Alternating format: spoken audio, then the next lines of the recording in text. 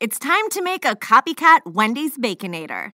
First, cook the bacon at 450 degrees for 10 minutes. Divide the meat into four equal portions, then shape each portion into a square patty, slightly bigger than the burger bun. Add garlic powder, salt, and pepper to both sides of the patties. Cook the patties for two minutes on both sides on a high heat pan. Add one slice of American cheese to each patty. To build the burger, place the patty on the bottom bun. Add two pieces of bacon facing one direction and two pieces facing the other way. Add the second patty over the bacon, then stack four more pieces of bacon over the patty. Add ketchup and mayo to the top bun and place the bun on top. Now you're ready to enjoy this yummy Copycat Wendy's Baconator.